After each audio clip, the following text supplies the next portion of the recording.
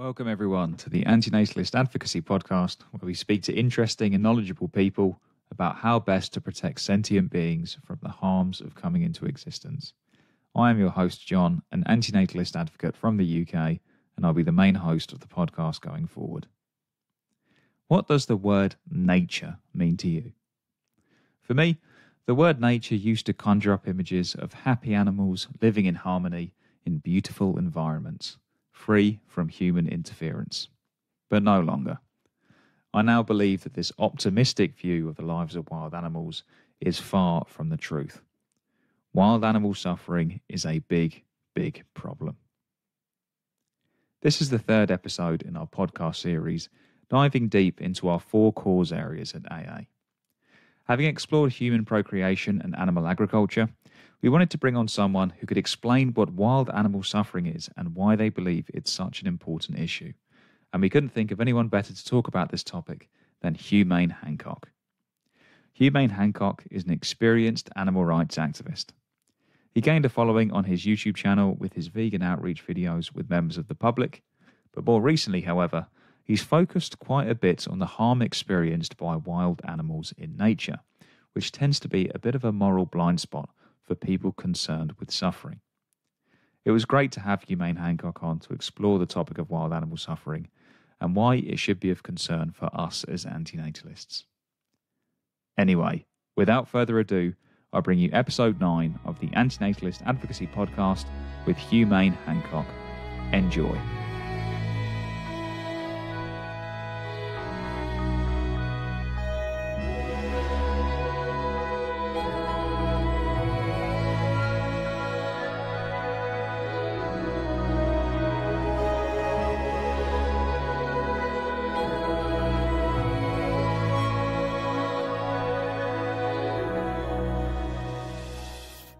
Welcome, everyone, to episode nine of the Antinatalist Advocacy Podcast.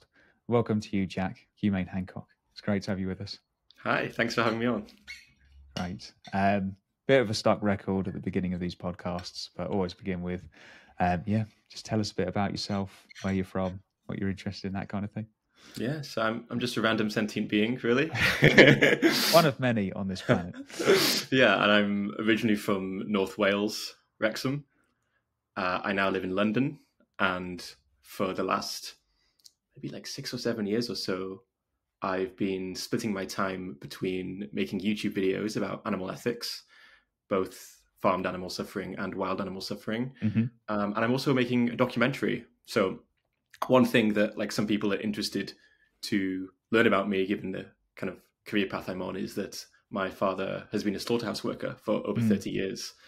Um, so yeah, I wanted to make a documentary. There's like, I really think there's uh, a huge gap in this space. I think when you look at a lot of the, the documentaries that are out there, I think they've been really effective in, in growing the movement. But I also think that they've often been very difficult to watch for mm. people who aren't already convinced or aren't willing to to watch graphic footage. So I wanted to to make a documentary that is um, using narrative to like come up with a really nice story that is engaging and entertaining to watch, but also uh, promotes messaging for uh, moral, spreading moral concern for farmed animals. Um, so that's taking a lot of my time hmm. lately.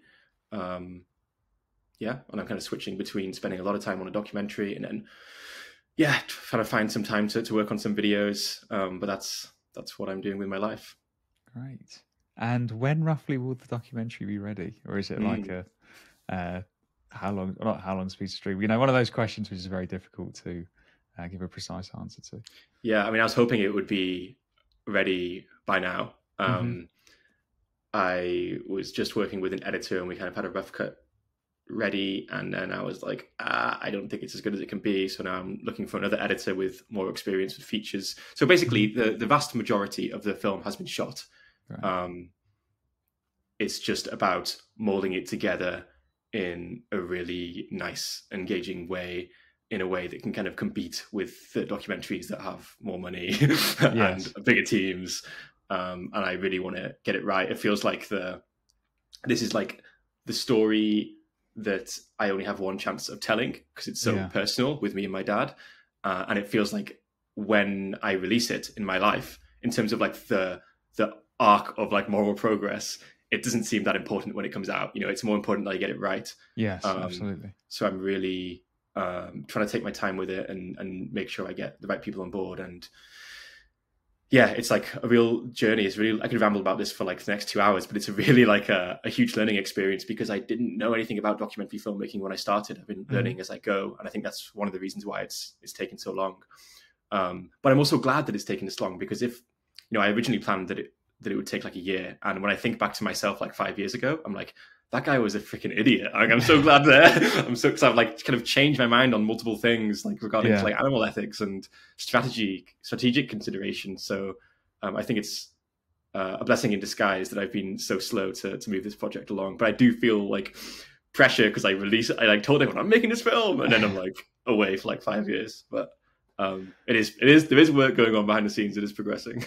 Great. To, to, be fair, I did hear through the grapevine that you were working on a documentary, and I'm now trying to figure out how long ago that was. It was probably over a year ago now.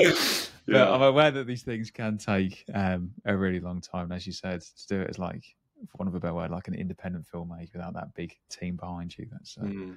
quite an undertaking. So that's really impressive.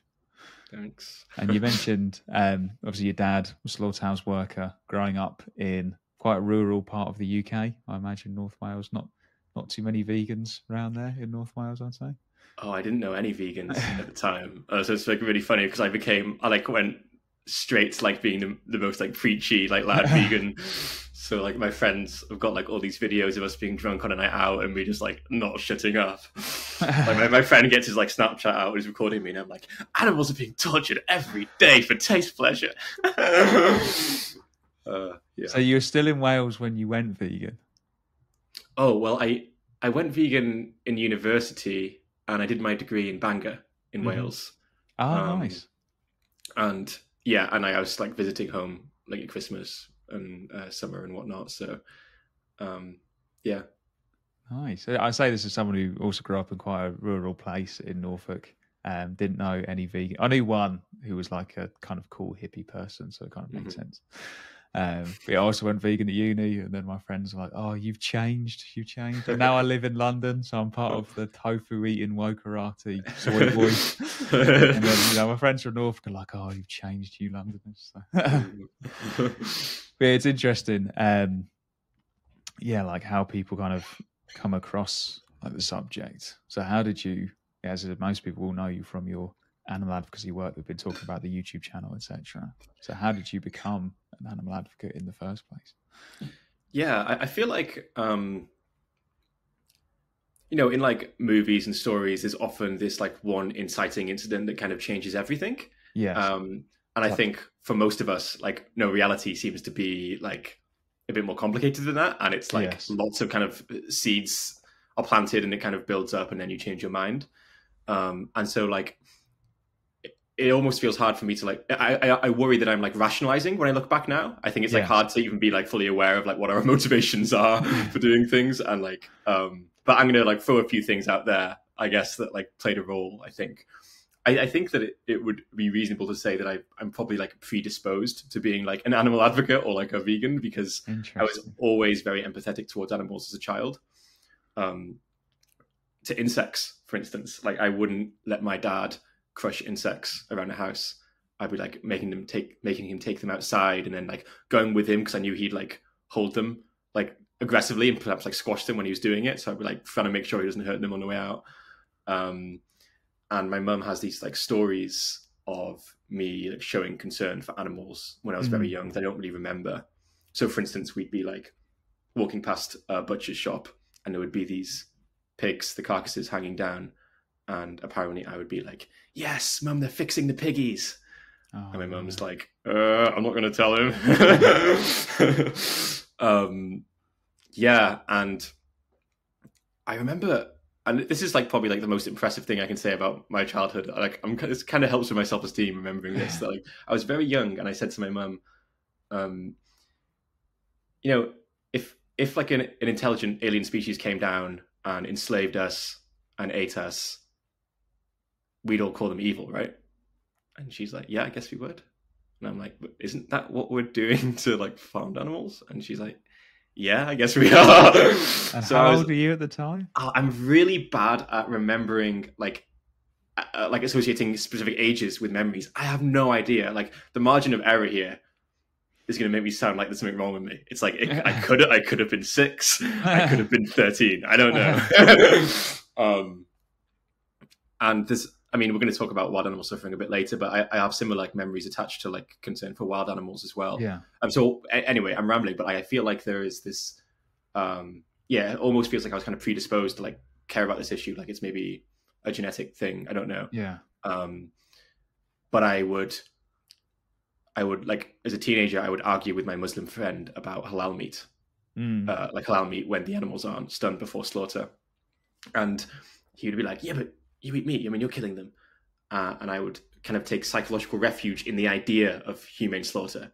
I would say, yeah, but if an animal has an amazing life and then they get shot in the back of the head and I don't think any, any I don't know about it at all, then like, yeah, I'm okay with that. But I had no idea what was actually happening. You know, it's just like this. I just told myself that and took refuge in that idea as if that was that, that was actually the case. When obviously it really, really, really isn't like that. Yeah.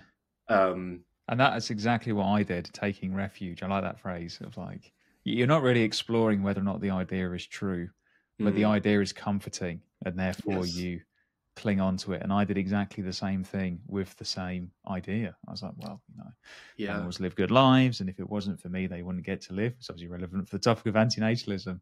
mm, Um, yeah, it's interesting how, like, yeah, we put up these kind of mental barriers. Like, we put them up ourselves to mm. Exploring kind of dangerous kind of thoughts. yeah. um, there's a there's a lot of motivated reasoning going on. I think Yes. with our our beliefs. Um, Definitely. And I think we we're all guilty of it, and I'm probably guilty of it right now because I, I didn't think I was guilty of it before, but mm, now I recognize it.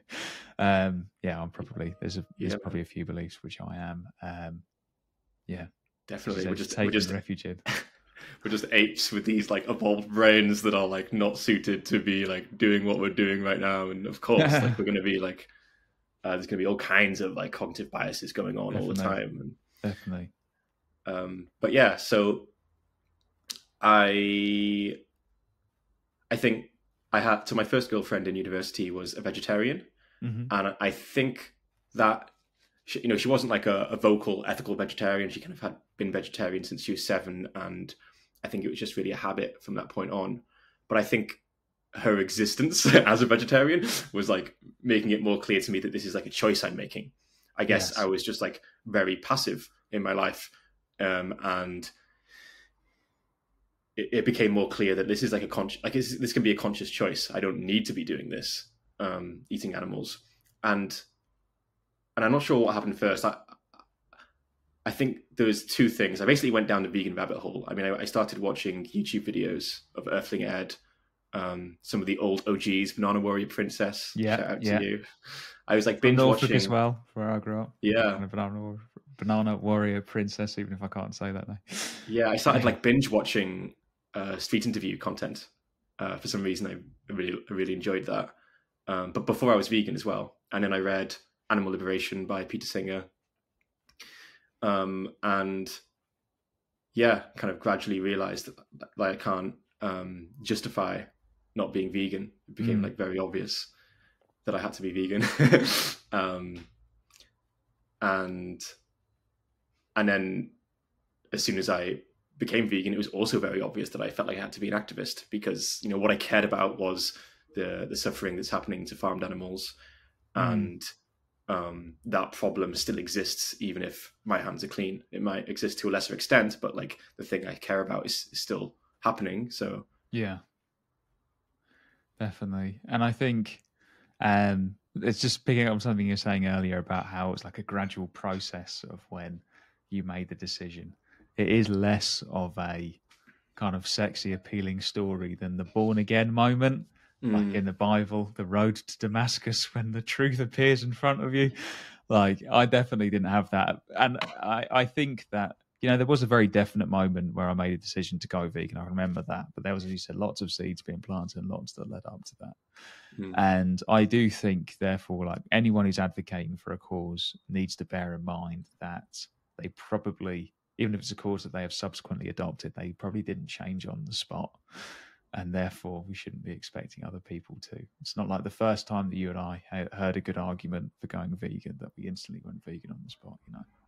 Yeah, absolutely, and it's easy to forget that when you become yes. like so impassioned, like rightfully so, like so impassioned with yeah. like what's happening and, and, expecting everyone to be able to look at this thing that's obviously terrible. Yes, it's so, obvious, so obvious to me. It's like, well, it wasn't obvious to you before you were vegan.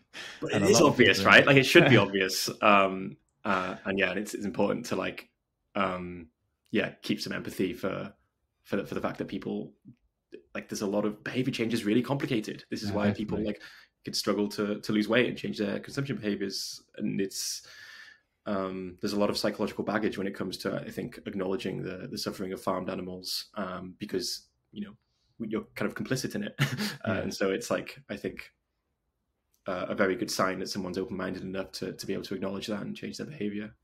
What I'm saying is that we are special. yes, I, and I do worry, and I see this a bit in the antinatalist community as well, that people do kind of talk a bit like, you know, we are the ones with the truth. and mm. you need to remember that lots of people feel that way. Um, with lots of people we disagree with feel that way. Um, but yeah, speaking of, as we talked before about like ideas and, and putting up barriers to uncomfortable ideas. Um, we, we will get to wild animal suffering in a moment, but in terms of uncomfortable ideas, how did you first become interested in, or at least aware of, antinatalism? Once I became vegan, I moved to London and was embedded in this vegan community of activists, and that was a really fun time because we like first started exploring um, ethical ideas and philosophical mm. ideas like free will and and antinatalism came up if I had to guess, I would say it probably came up from George Martin, mm. uh, the guy who runs Carnism Debunked. Yes, because um, he's he was really into it. Um, so I ended up reading Better Never to Have Been, which I thought was super interesting, really compelling read.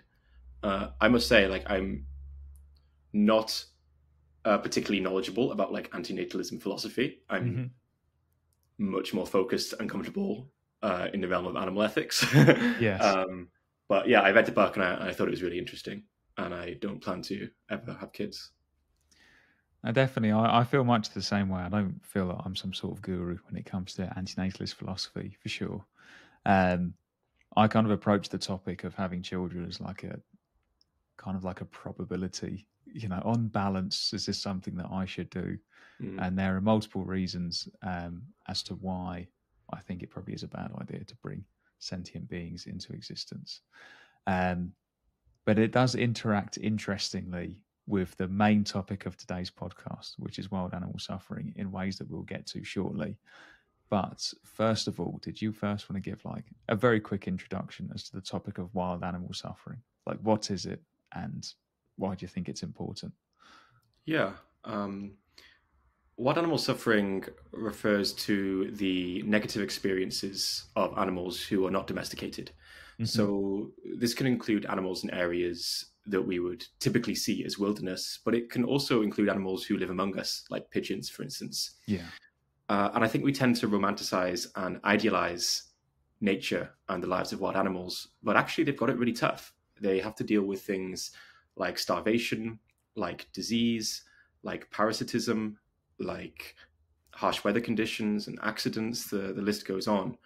Um, and I think there are many reasons why we might be prone to turning a blind eye to wild animal suffering and, and failing to really acknowledge and see its seriousness. Mm. Um, but you know, in reality, there are individuals out there who feel pain, uh, anxiety, uh, and suffer just like pigs, chickens, cows, cats, and dogs do. Uh, and I really do think that this is a major moral blind spot. You know, the vast majority of sentient minds on this planet are wild animals. Yes. So if we want the world to be a good place to live, I think this issue has to be recognized.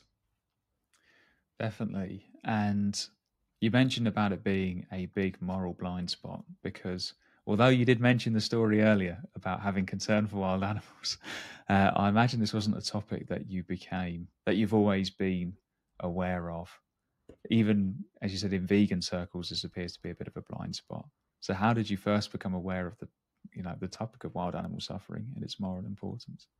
Yeah, I, I do have a, a childhood memory here. Um, Yeah, so I mean, it's a bit of a blurry memory, but when I was very young, I was watching nature documentaries, and so became aware of the fact that animals are being eaten alive, and that really affected me. Mm. Uh, yeah, I, I really, I remember my mum saying, "It's just something you've got to get over, Jack." Here we are, twenty years later, still not over it. still not over it. Um, but I think that's kind of interesting that like something that adults will kind of just see as normal to the point where we don't even really like properly empathize with the beings involved in the situation because it's just kind of like normal and natural. It's just the way things are. You've mm. got to just get over it. But then like as a very young person who's just kind of like learning about the world, you just see something, you're like, wait, that is completely terrible. yes. Um, and of course, I should say that like I think a lot of people because like predation is kind of like the the thing that people first think of when they consider wild animal suffering.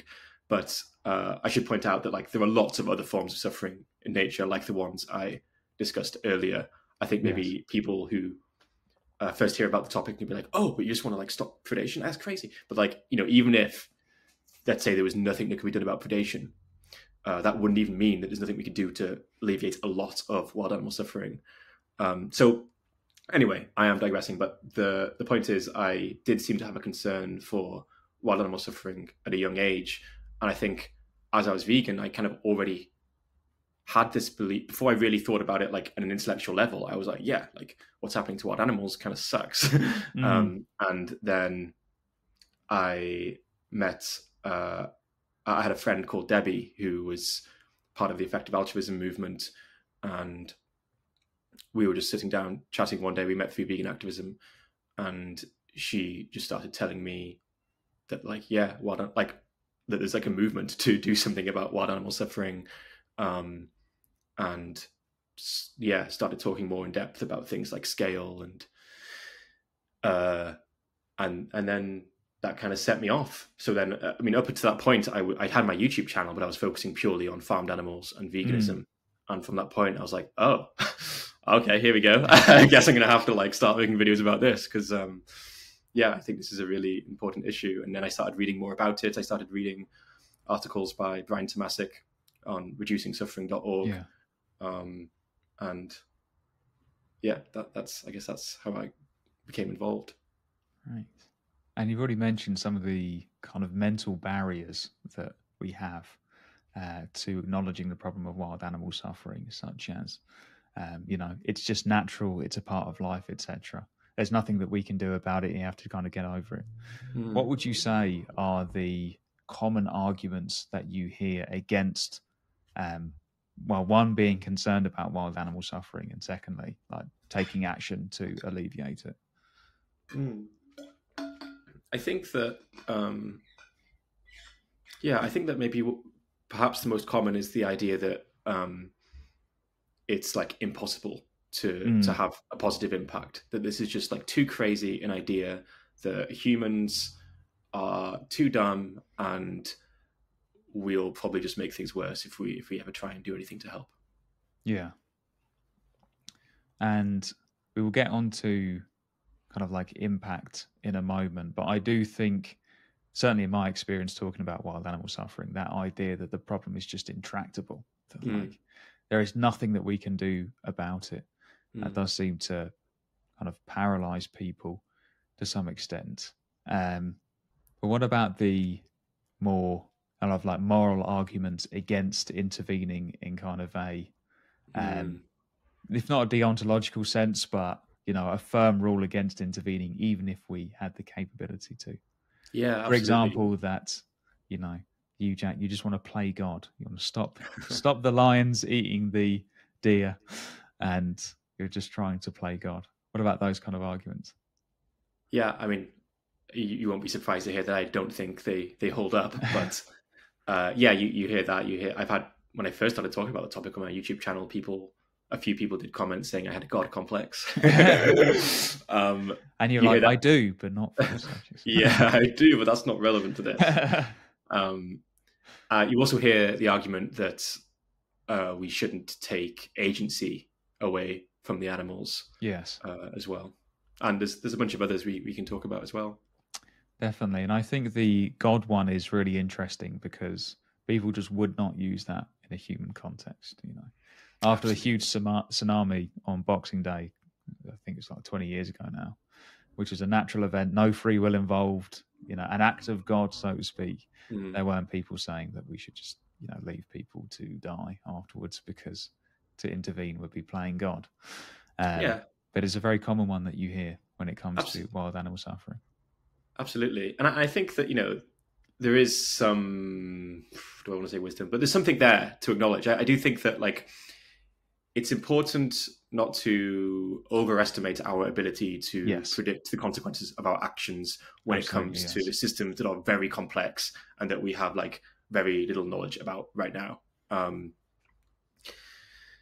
but yeah, I mean, just just look around us. I mean, we've played God and altered nature in so many ways to improve yes. human well-being.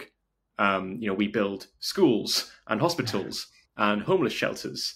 Um, we seem to have no issue playing God if it's in order to, to benefit our species. Yes. Um, and that seems speciesist to me. I mean, I can't see any reason why we would say that I like my suffering matters and I deserve help. I should be allowed pain relief and medical treatment when I suffer. But but helping wild animals, oh no, that's that's playing God. I mean, how incredibly convenient to view like that, that those in nature should be left to suffer, but like we're going to play God every possible chance we get in order to improve our lives and make our yes. lives as easy as possible. Um, you know, like it's playing God to to try and help animals who are starving to death, but like we get annoyed if we have to wait like a few months for our free healthcare or like yes. wait in line 20 minutes for a vegan hot dog. Definitely. And I, I, do think that playing God kind of um that yeah, that that playing God kind of argument is applied quite inconsistently Mm. I do, however, think that although it's a similar argument, I do think that this one has more kind of moral, intuitive appeal. And that is the idea that the wild animal suffering that you're talking about, Jack, that is not our fault. It's, we didn't cause this. And therefore, at the argument's even phrased, either we don't have to do anything about it or we should focus on other stuff first. And I do admit that this does have an intuitive kind of moral appeal that we mm. think that we have to and this often comes from vegans you know they're like we should stop the harm that we're doing to animals such as mm. you know, animal agriculture before we try and prevent the harm that we're not directly responsible for it does have a moral appeal so what do you think about this particular argument the idea that we're not responsible for wild animal suffering yeah um, so i I don't think. I mean, I agree that it, it is intuitive to say that like we're not the cause of the problem, uh, and therefore like it's not our responsibility to yes. to, to, do anything about it.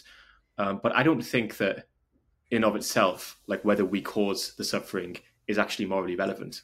Yes. Now, I think there might be some practical reasons why we want to focus on alleviating the suffering we cause, because in many cases it's probably going to be easier to like stop harming than it is to alleviate suffering we're not causing. Yes. Um, but like, okay, so let's if I imagine two scenarios. Let's imagine that there's a deer and a human being throws a rock and it hits that deer's leg and they have a broken leg.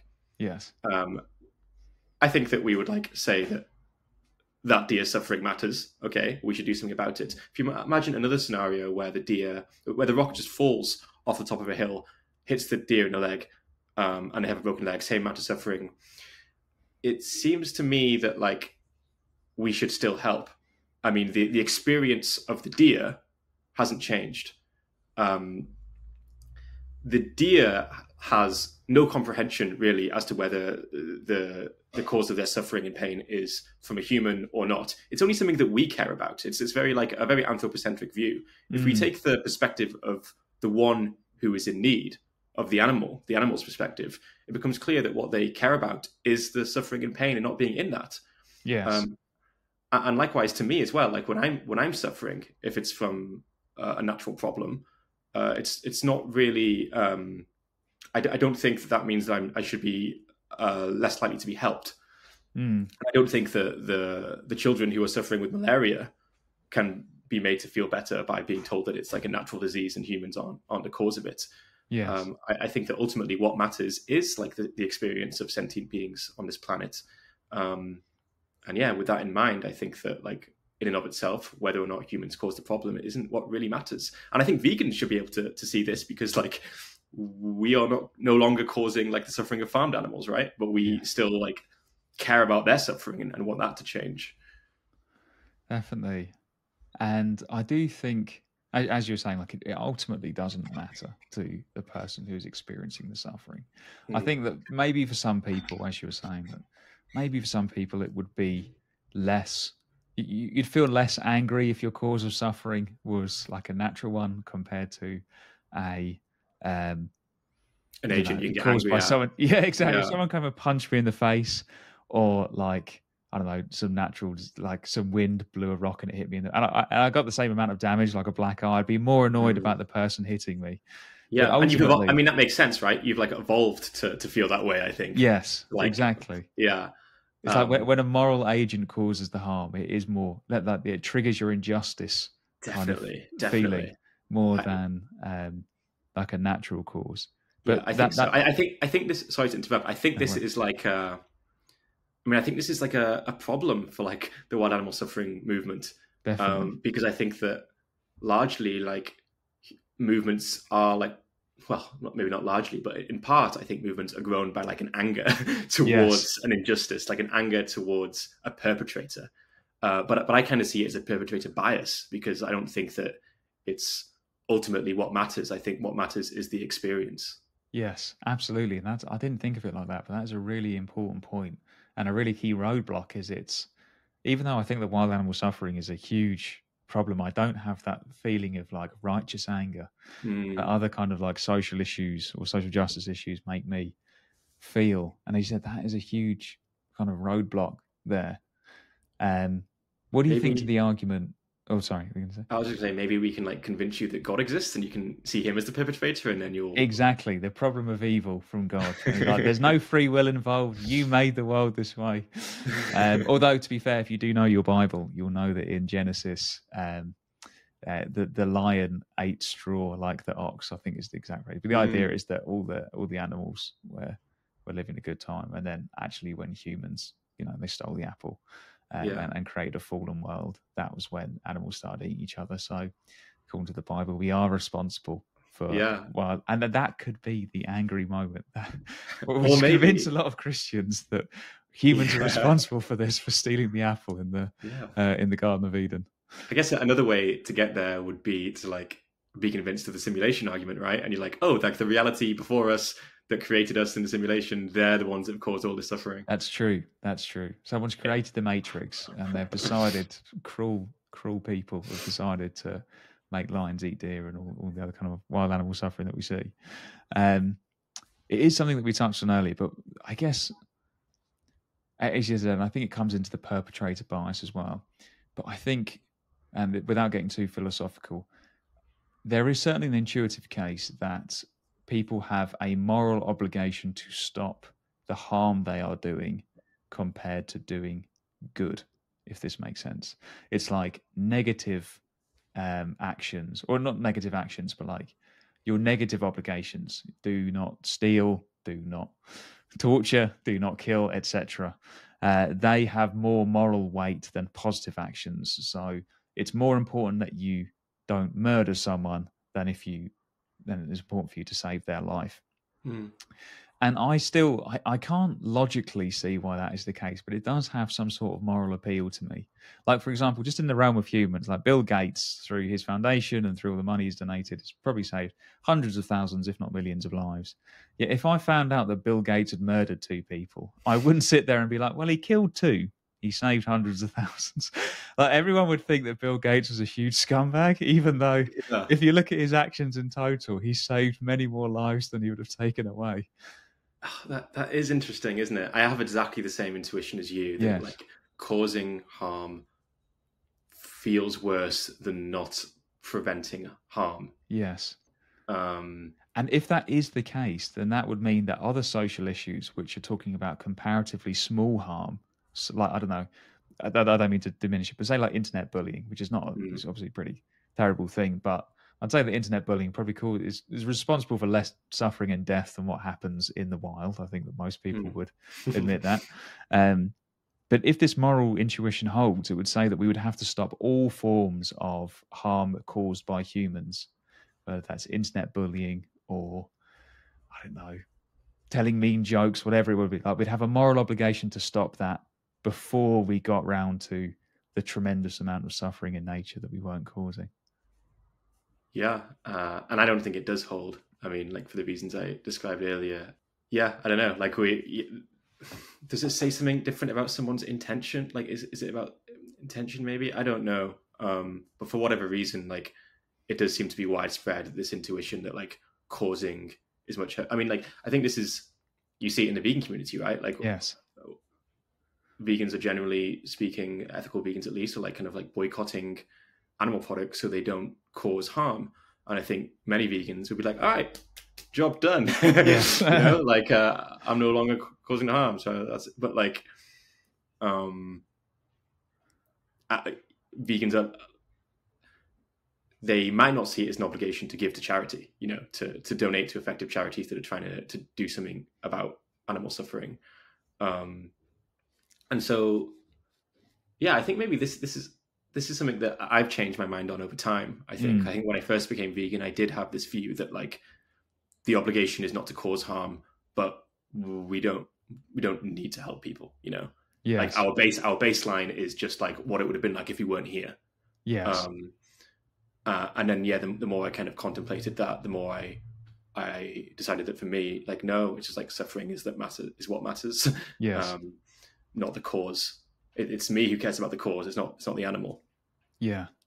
Um, one thing to add to that point, especially you saying about giving to charity, which is something that we really promote at antinatalist advocacy, even if you don't believe that we do have a moral obligation to do good, so beyond the not causing harm, the actual Mm. obligation to do good, such, such as giving to charity, um, it would be a very strange ethical position, I believe, to say that giving to charity or doing positive good is not a better option than the alternative of just you know doing nothing Mm, you know if i have a thousand pounds and i could donate it to an effective charity or i can burn it you know just light the money on fire um, most people would agree that at least one of them is a better thing to do even if they don't think that i would have a moral obligation to right. to do good in that opportunity um, you know. You know, like when when you. So, did you previously have the view that it was like, okay, the obligation is not to cause harm. Um, I don't necessarily need to, to help others. yes that was my Yeah. and then i came across peter singer's famous Right. Of course, Um, yeah. yeah I, I think that like the the world, it's a nice place to be in that mindset. I think because like when you're not in that mindset, you can end up having to contemplate things like, wait, well, yeah, if I'm obligated to help others, like I'm choosing between like going out tonight and having and spending like tw- twenty five pound on, on cocktails when I could buy, you know, like five malaria nets and Yes. potentially you prevent a die from a, a child from dying. yes Uh, so you kind of realize that you're acting immorally, like in many many ways, and you're like kind of yeah, being being like selfish, and um, it seems kind of unjustifiable. Yes, and it is a comforting place to be in that place. I think, well, at least I'm not doing any harm. Um, as you say, because you can go down the rabbit hole of where do my positive obligations end, and we are certainly planning on doing an episode about how to approach charitable giving and our obligations to do good. Mm. And my general approach is that rather than trying to shame people or e- even shame myself into saying that you should never, um, like every effort that you make should try and do good. I think um, there's something there about you know taking the opportunities that you can, and even if you don't think we have those obligations, just saying it's probably a better thing to do, and trying to build positive feelings around it because this the headspace that you're in that you've you've spoken about is one that I've been in, and it's quite a negative one. It's a feeling Mm. of like, oh no, I, I, you know, I bought a takeaway and it was ten pounds, and I could have donated it and eaten some rice and peas I had in my cupboard instead if I Mm. wanted that tasty food. Um, like trying to frame a like a positive kind of habit to or like positive feelings around doing good. You don't Mm. feel that nagging guilt to the same extent. You know, you don't want to get the takeaway because you know you feel good about giving to charity.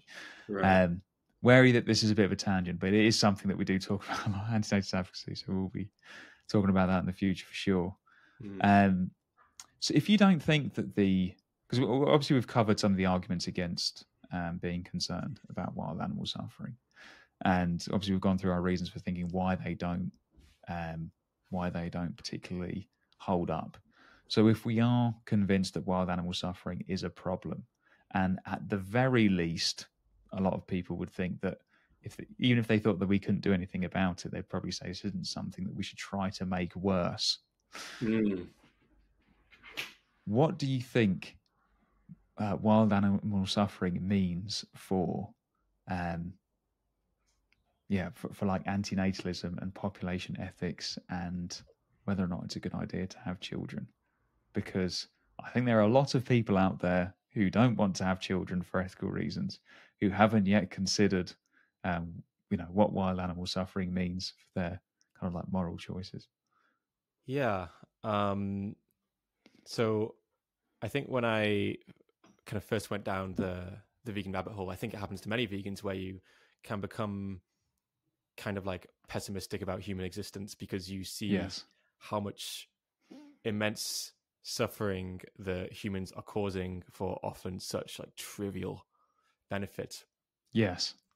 Um, when I consider the suffering of wild animals, I f- and consider like the meaninglessness of it all. You know, like the fact that this is all happening because of like gene replication, uh, like trillions and trillions of individual sentient beings like dying painfully since the beginning of sentience on planet Earth. Mm. And then somehow this like meaningless, unguided process gives rise to a species who not only has the power to to shape the Earth how we want it, but also has the potential to actually care about the beings who live here. Yes. You know, not not just the beings, not just themselves and the beings that look like them, but beings who like look so incredibly different to them. Um and of course we don't know how much the idea to help wild animals is going to grow, but I do think that if you're an antinatalist, you have to you know, an antinatalist who who thinks human extinction is good, you do have to battle with the fact that the vast majority of beings on this planet sentient beings are wild animals. Yeah. Uh, and that means that 99.9% of life will continue to suffer under the current system if we don't do something, if we don't stick around to do something about it. Um, so I think kind of like I'm probably rambling, but to bring it back to your question, I think that you could be perhaps I don't know if this term makes sense, but like an anthropocentric um, antinatalist, I guess. So if you if you kind of only care about human beings, then of course like species extinction is great but i think if you include non-human animals in your moral circle of consideration uh, then depending on on what you think the likelihood is of, of human beings helping or trying to help uh, then yeah human extinction begins to to look like a potential bad thing which i think will be like very counterintuitive to like many yes. anti-natalists listening um, but yeah the other point is obviously that like I mean, I don't know, maybe some people agree with disagree with me on this, but I think in reality, like humans going extinct because of antinatalist ideas seems like very, very, very unlikely. And it seems yes. much more likely that antinatalist ideas would, would result in less humans being born. Um, but then there's all kinds of interesting questions you, you can delve into there where it's like, um, I mean, I don't, I don't think that antinatalism or concern for wild animals will like necessarily it's not like we're going to have like one gene. It's like the antinatalist gene, but I do think that there are going to be um, genetic differences related to to our moral thinking, like increased empathy, for example. Um, yes, that you know, if if if the people who are more likely to be empathetic um, or predisposed to being very high in empathy are not having children, then maybe like future generations will like have less empathy and yes. therefore like the world's gonna be a worse place. So antinatalists like get to your nearest sperm bank and spread your values for the future of wild animals. Definitely. I have to say, you said that was a bit rambly, but I think I agree with pretty much every word. I think it's just one of the toughest things to um that is it's almost like two thoughts that don't obviously go together mm. but I think really do. And that is the thought that if you believe that it's a bad idea to create sentient being, well, not to create sentient beings, for sentient beings to be brought into existence, then you really do want to keep humans around because we're the only ones who can actually do anything, as you said, about most of the sentient beings being brought into existence and all the suffering that they endure. Like, if you think that human lives are full of suffering, and my goodness, human lives are on the whole a hell of a lot better than the lives of most wild animals, as you're saying, starving to death, freezing, dying of disease, um, being literally ripped apart, eaten alive. Mm. Um, most humans, fortunately, don't need to go through these things, which are just so endemic in the um, so endemic in the in the natural world. And as you said, Jack, we are the only species that can actually do anything about it. So I definitely agree that human extinction, at least as it relates to wild animals, well, there are some big concerns about that. Now there are there is the argument that humans, as we have done with factory farming, we can actually create things which are even worse than the state of nature. And that while we do have a capacity to do good, we may also, you know, create the matrix, which is just you know like factory farming times a million, mm. and it probably would have been better off for us not to have stayed around to not like create all this additional suffering. Absolutely. But I do think this is something that antinatalists need to take seriously. Is the fact that, um, well, first of all, as you said, it's extremely unlikely that there will be uh, that antinatalist ideas will cause human extinction. But even having it as an end goal, as something to pin your flag to, I don't think is a very good idea because that end goal would have, yeah, would leave a tremendous number of sentient beings who live much worse lives than humans, just yeah. Breeding and breeding and, yeah, suffering. Yeah. Like like you said, I. I, like you said, I think you could you know, you, you could acknowledge, you could have the view where you acknowledge that, but you think that humans are just much more likely to cause astronomical amounts more suffering through like yes digital sentience or spreading ecosystems of wild animals to additional planets yes um, so i think you can have like a, a very reasonable view of like yeah that's true but like uh, humans should still go extinct anyway because like our track record really sucks um, that's true yeah but um you know just to touch on something else you're saying about this like comparison between human life and wild animal life i mean I guess many antinatalists are antinatalist out of a concern for the quality of, of human existence. Yes. Uh, and you were you were describing some of the things that wild animals have to face that humans don't typically have to face.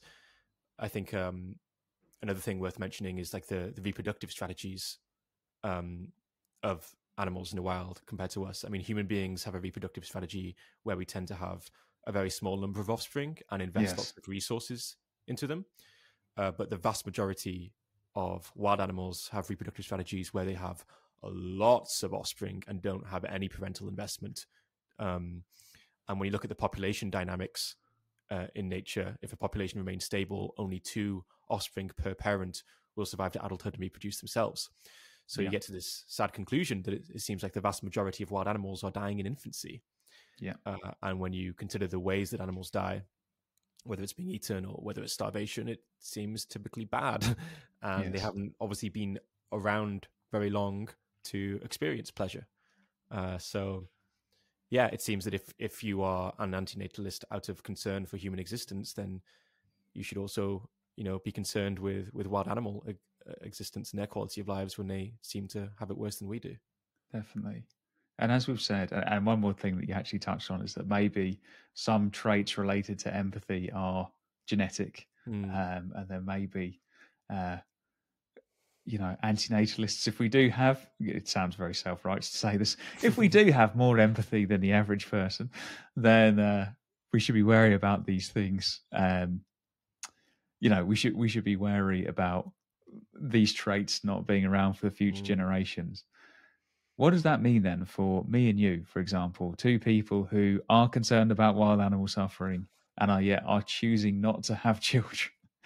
What do you think that all of these concerns packaged together means for our moral obligations for having children as individuals? Wow. Yeah, big question. Um I'm like very uncertain like like you know the the consequences of our actions are like the further down you go, the kind of like knock-on effects, it just becomes impossible to really like calculate with any certainty whether something's good Yes. or bad, and it can lead to like all these counterintuitive things. But Yes. like when it comes to having a child, it's like the consequences of that. Like I can't even fathom, you know. Um, and so I I don't want to have children for like personal reasons. Like I just don't want that for myself. That's I think what is the main reason. Like I said before, I think it's like I, I, I think that we, we all kind of like lack more self awareness than we would like to acknowledge. And Yes. like kind of deceive ourselves and things. And so, you know, when people have asked me this before, I have said like, you know, part of it is like a concern for, for suffering. Um, but I think that even if I didn't have that concern for suffering, I probably would not be leaning towards having children myself. Um, but like, yeah, the the kind of I do think it's going to be true that antinatalists will be higher in, a- on average in empathy than, than Yes. people, and I think that's also going to be true for for vegans as well. Yes. And I think there's been there's been some research conducted fairly recently suggesting that like vegetarianism has a, a genetic component. Um, and so yeah, I am like, I like I actually do know somebody who. And this is going to sound crazy, but I know. I mean, maybe I've told you this before in private. Someone who donates sperm? Is this the guy? yeah, yeah. uh, uh, someone who actually does donate sperm for like value spreading. At least that's what he tells me. um, I mean, that's that's like an extreme outlier, but like, I guess I am like I'm I'm not judgmental when I hear about someone having children because I'm like very very uncertain about like the effects, the overall effects of that. You know, it's not Yes. just it's there's like the experience of the the human being um, but then there's all of these knock-on effects like how does more humans affect the population sizes of wild animals yes. in ecosystems um, and yeah i don't know i don't really know what where, what else to, to say about this other than that like i do think it sounds reasonable to say that like higher empathy people not having children could potentially be bad for for like the future of humanity Yes, definitely. And I think that is something that we do need to take seriously. Like I I also because of the concern for wild animal suffering, I don't have the uh, you know, I don't feel angry at people for having children. I think in a vacuum, I I think it's a bad idea to create sentient beings. Mm. But as you said, in the world that we live in, some people who have children, it's hard to know whether or not that, that will amount to more or less suffering, and particularly as it relates to wild animal suffering, Mm. like over the long run. I do think, however, though, that if you do want to do good in the world, and something that we said on previous podcasts, if you do Mm. want to do good in the world, I think there are other things available to you other than having your own children. So a huge motivator for me not to have children is to donate the money that I would otherwise spend on having children to charitable causes, kind of spread my values that way Mm. rather than through my genes. Absolutely. I, I think that's a really a really good point. And I yeah, I find it highly unlikely that like having children would be the like optimal way to like Yes. do altruism in the world. Um, Definitely. and it's like something that I've thought about as well. Like I want to dedicate my my life to trying to reduce animal suffering. And um that's hard enough to do when like I haven't got sentient beings to look after. Yes. it's hard enough when I've just got to look after this sentient being. Like, that's like it's all it's already like a, a big task um and so i think i will be like much more effective if i can really just focus my life on on this issue um yeah Definitely. And I think that is something that we would say to people is that just because you are um, an antinatalist, just because you have come to the conclusion that it's a bad idea to for sentient beings to come into existence, it doesn't commit you to one path and certainly not one form of activism. I find that Mm. quite often people think that, oh, I'm an antinatalist, therefore what I need to do is go out and tell people not to have children. Mm. And I don't think that follows at all. Like it, it can mean many different things, but it doesn't mean that you have to go around telling people or judging people for having children. Um, it can, you there are other ways that you can prevent suffering from occurring that are seem to be a lot more effective than than doing just that, such as going vegan or yeah uh, donating money to donating money to charity. Um, although although perhaps someone could argue that like yeah getting people to to stop having children is like better than arguably better than vegan activism because if if someone's never born then they're not going to be buying animal products um you know, there, there are, I guess there are like other considerations with like changing culture when you like when you get someone to go vegan and change your attitudes towards Yes. animals. It's like more changing this kind of culture that could have a better long term effect. But I do think there's something to be said for like less people coming into existence is going to mean like less factory farming. Yes, this is true, and I do think this is something that we have to factor in. And there's something that's really hard to measure is like the meme of veganism, or like the spreading of ideas, Mm. um, which obviously does happen if you if you you know try to actively spread the ideas of veganism rather than just having fewer advocating fewer people. Um, it's it's tough. Reality is tough, guys. This is Mm. something that we've said on this podcast podcast before. It is difficult to do the right thing, and especially when wild animal suffering gets involved. Like I was definitely, as you were saying, uh, going down the and like the misanthropic kind of path of why humans here were doing such awful things. And then I found out about wild animal suffering and say, oh, humans need to stay here. But I think it's a bad idea to create them. So it's it's a tough thing. Um, but what we will say, and something that we have talked about before, is that yeah, if you do want to do good in the world, there are things other than having children that uh, uh, you can do, and you can also you, know, you don't need to be in conflict with your ethics. You know, you don't need to have kids and tell them.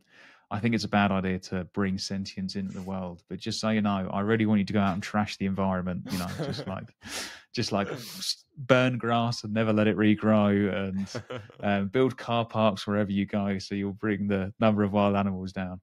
Um, there are other things you can do to be impactful. Although I do think, and maybe this is a subject for another day, I do think that so long as if you're an anti-natalist, you know, so long as it doesn't increase the overall amount of human births, which might go against anti-natalist ethics, donating to a sperm bank to pass on your your good wholesome anti-natalist genes, it might not be such a bad thing to do. I don't know. yeah, I mean, like I can see an ethical argument for it.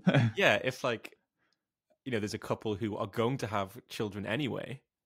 It is so funny, like where philosophy can take you. Like you're like this anti-natalist podcast, and you're like genuinely, like you're genuinely saying, like, yeah, I mean, I do think that you know, if you're not going to have your own kids, but like you, you could go to a sperm bank and start exactly. because of your You, you know, it wouldn't it wouldn't conflict with most people's versions of antinatalism if they weren't causing the number of people born to Right. exist. You know, Yeah. they might just get the sperm of some guy who's not a compassionate person. So Yeah, I think that you know if you think you've got good genes overall, um, you if you're an antinatalist, you've probably got like higher empathy and compassion than the average person. So like, yeah, Yeah, I mean, I've said before that you know I went bald when I was 22, and I'm useless at all sports. So I don't think that people are going to want to inherit my genes if they if they saw that on the, in the form.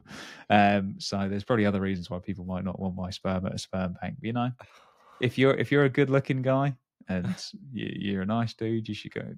You can consider it. Um, sorry, away from sperm and back to wild animal suffering. Um, we've talked about obviously how you know the, the difficulties in this area of knowing what the good thing to do is or ways that we can have an impact. But as we said before the probably the most common objection that i've seen on like an anecdotal basis is this kind of throw your hands up in the air. What can we actually do about wild animal suffering so if someone comes to you jack and they say look you've convinced me wild animal suffering big problem something that in an ideal world wouldn't happen. But in the world that we live in right now, what can we do about it? What would you say? yeah, I think it's like an understandable perspective to have to be like, "Ah, look, I'm convinced that wild animal suffering matters, uh, but like, what are humans going to do? Um, to like, I guess to kind of like steelman the argument, someone might say like, you know, ecosystems are so complicated and interconnected that like surely anything 'cause- that we do could potentially make things worse, and we wouldn't even know if it was making things worse. Mm. Um, and I think that's a And there point. are examples. Sorry, I'm just going to say there are examples of where humans have tried to, you know, improve in air quotes ecosystems and have had very counterintuitive and unintended consequences. Absolutely. Yeah. I mean, people often will use that as like, uh, like they'll say, look, look at what humans have done in the past. Like we'll Yes. never be able to make things better. But, but of course, like we, in the past, we've never been trying to make things better. We've been intervening for anthropocentric reasons to, Yes. to for like environmental reasons for us. Um, we haven't even been measuring the welfare effects. Um, and I think that's, that's actually a really important point to bring up is that like we are kind of intervening all of the time whether we like it or not Yes. Whether it's from the pesticides we use or whether it's from anthropogenic climate change, we are constantly changing the numbers of wild animals, the different species that are coming into existence, and their experiences. Um, so I think what we need to start doing is actually considering the effect on the well-being of animals. And I think if there's if you imagine like two worlds, one world where we continue intervening as we are, but only for anthropocentric reasons, without even acknowledging the problem of wild animal suffering, I think we're more likely to cause more harm and make things worse there than in a world where we actually acknowledge this as an important issue and actually like take it into account when it comes to like policy, for instance. Mm. Um, I, I sometimes use the analogy of like the human body, where I think, you know, in the 18th century, people could have said that, that look, the human body is, is so complicated and interconnected. You know, before the advent of modern medicine, maybe people would have said like, there's no point interfering like in the human body. We're going to make things worse. It's just far too complicated. It's mm. playing God to suggest that we can uh, improve human health. But instead, humanity conducted research, and over many years of research, they discovered ways that we can reliably make things better. And similarly, there is a, a, new field of study called welfare biology, where researchers are attempting to learn about the lives of wild animals so that maybe one day we can have a significant impact on their lives too. But yeah. um, it's also worth mentioning that there are people out there today helping wild animals. There are people who rescue animals from forest fires. There are people who go out and help injured or sick pigeons, and even on a on a larger scale, uh, the so, so we successfully eradicated rabies from fox populations in Europe uh, by dropping food that contained an oral vaccine. And, you know, rabies is a very torturous way to die. So we yes. spared thousands of animals for, from dying that way.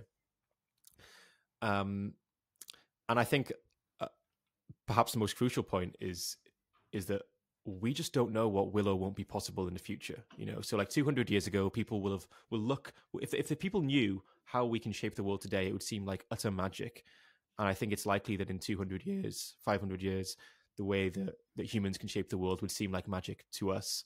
Um, but but we need to lay the groundwork for humans to actually want to help wild animals because you know it's not going to matter what technology we have and what we can potentially do if humanity never fully acknowledge the seriousness of wild animal suffering and see it as our responsibility even if we could even if we could abolish wild animal suffering today, we wouldn't do it mm. because there isn't enough of a desire to do it.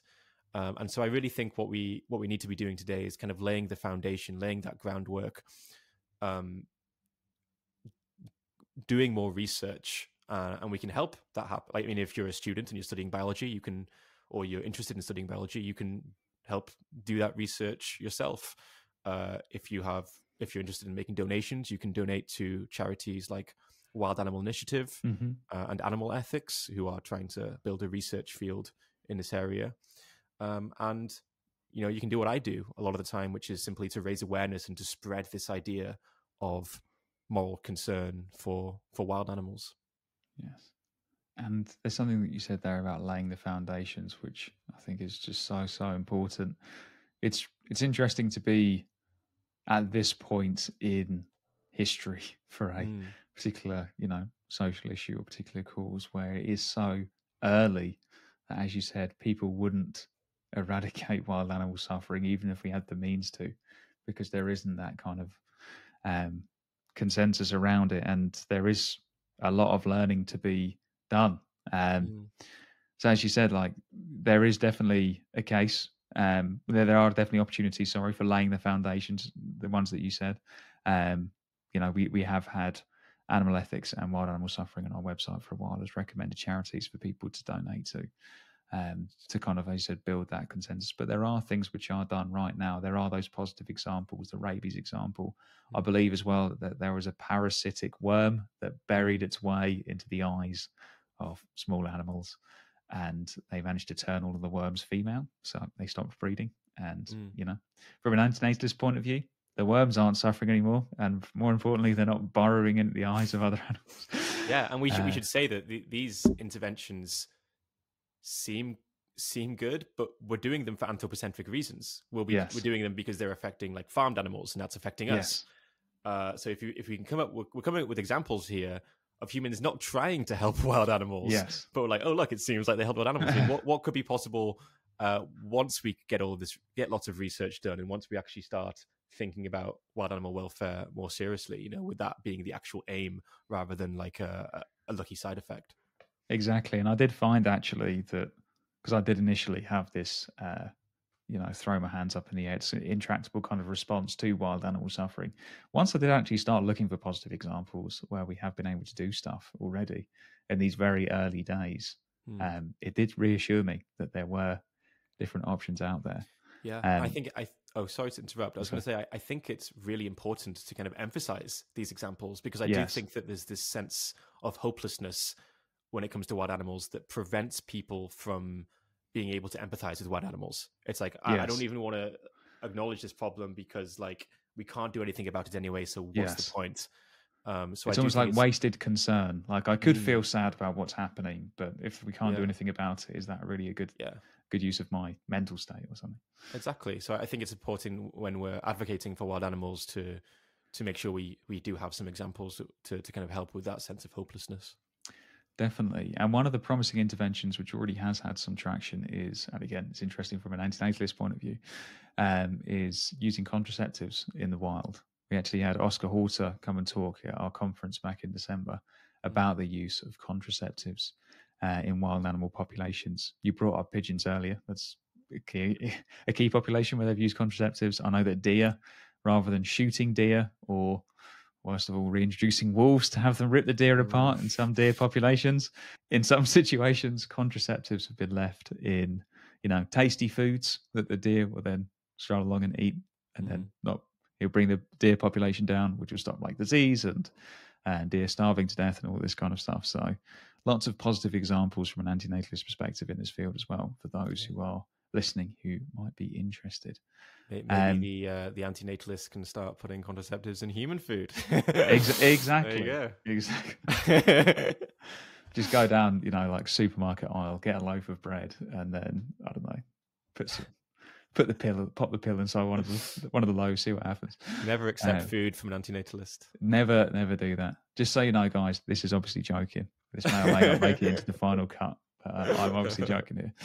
Um, yeah, it's been a really good talk, Jack. Is there anything else you wanted to say on the subject of wild animal suffering and Ooh, or yeah. antinatalism? How they connected? It's it's been really fun. I do genuinely feel like we could just talk about wild animal suffering for like another two hours. Yes. um, like so, I could say many different things.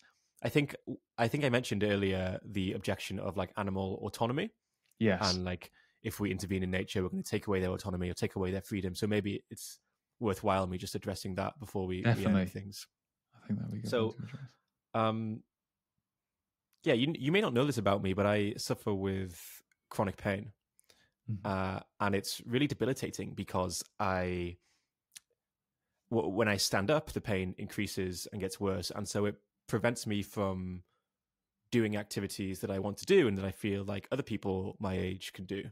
Mm, Um, and so my autonomy is being thwarted, but it's not being thwarted by humans.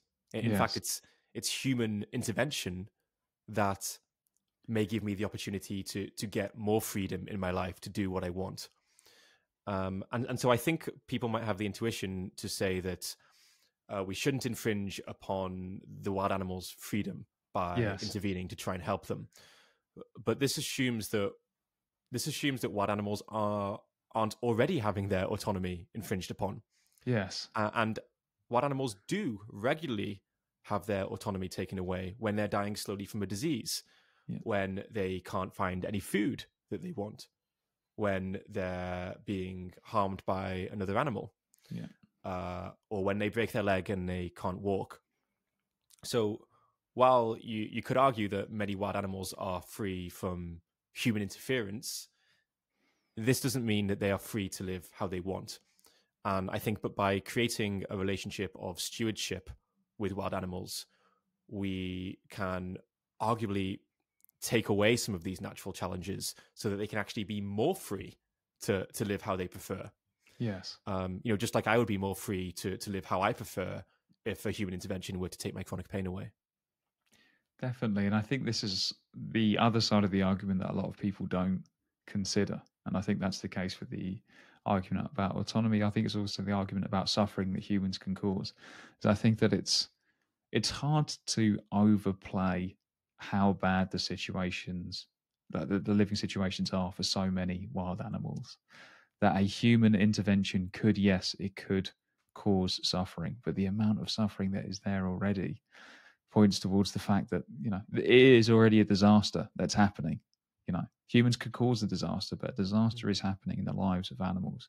No human society would accept the levels of suffering and death that we see routinely in many, many wild animal populations.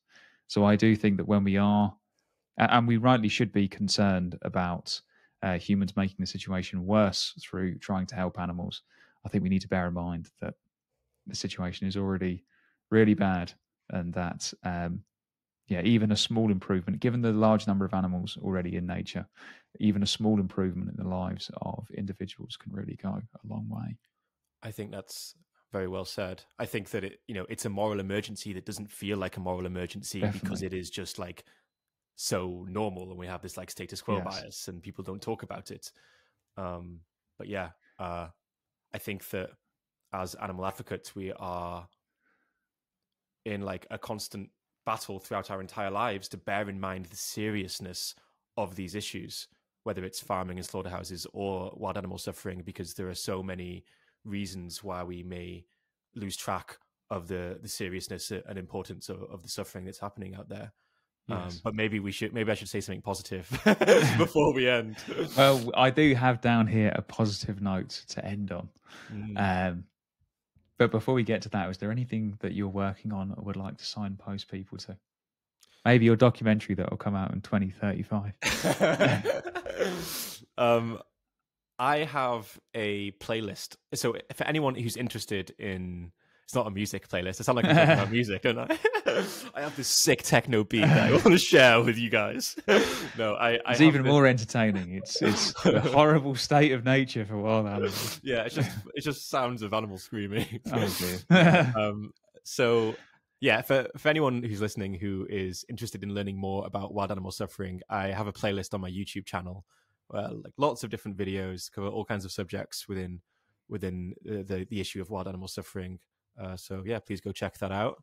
Um, you can subscribe to my channel if you're interested in in hearing more about animal ethics. Um, and yeah, I hope hopefully my my documentary will be will be finished one day. share, share that with all you guys.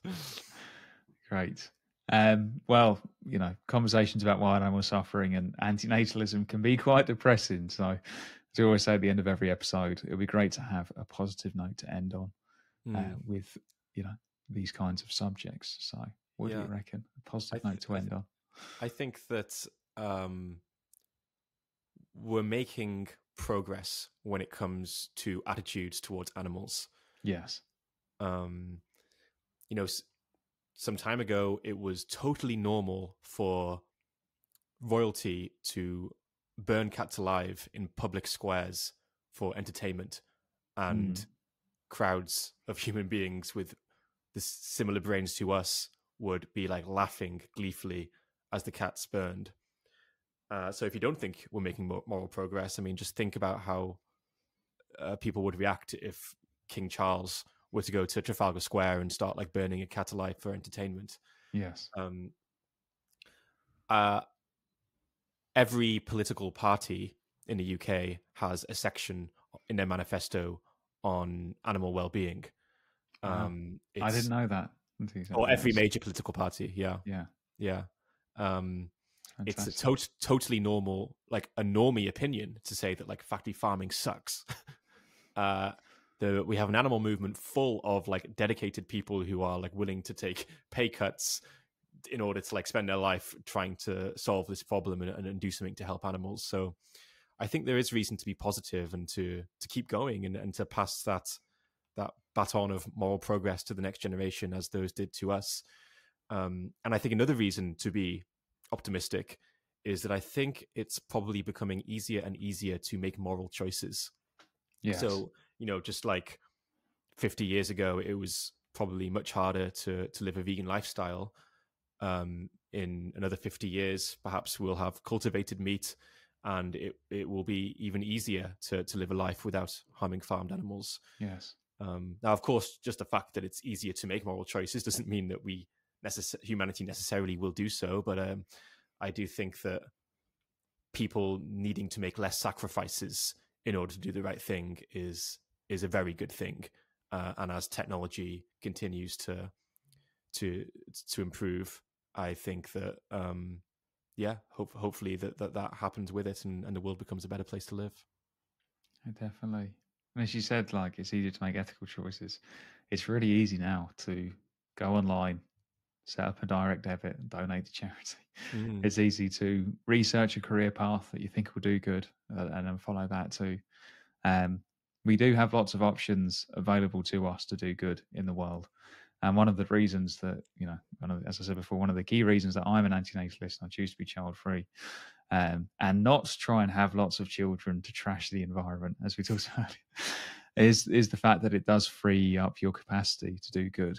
And as you said, Jack, it is becoming easier and easier to do good in the world, and that's you know that's why we try and do this podcast and try and do what we're doing at Antinatalist Advocacy. Um, so, Jack, thank you so much for coming on. Uh, the conversation's been a lot of fun, a lot more fun than the conversation about wild animal suffering and antinatalism sounds on the tin. Um, but um, yeah, yeah thank been, you so much really for coming on. yeah, it's been really fun. Thank you for having me, and yeah, thank you for for doing this podcast and discussing these important ideas. Uh, I'm looking forward to hearing more. Great, thanks, Jack, keep up the good work. Um, obviously, you know we look forward to that documentary coming out one day. Um, yeah, thanks again, and thank you to you, the listener, for tuning in. Thank you for tuning into this episode of the Antinatalist Advocacy Podcast. If you like what you heard today, please subscribe so you don't miss future episodes. We'd also be really grateful if you could help us get the word out there by sharing this episode far and wide, as well as giving us a positive rating on whichever platform you're listening to us on. To find out more about AA, including careers advice, donation recommendations, and different ways to have a positive impact, you can go to our website at antinatalistadvocacy.org. To keep up to date with what we're up to, feel free to subscribe to our monthly newsletter and follow us on your favourite social media platforms. Links to all of the above are in the description. As always, we are hoping you will join us in our antinatalist advocacy.